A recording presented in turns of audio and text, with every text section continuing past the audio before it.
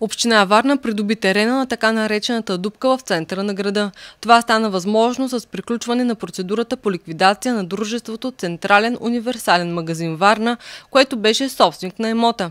На заседанието през този четвъртък Общинският съвет прие крайният ликвидационен баланс на ЦУМ Варна, както и доклада на ликвидатора.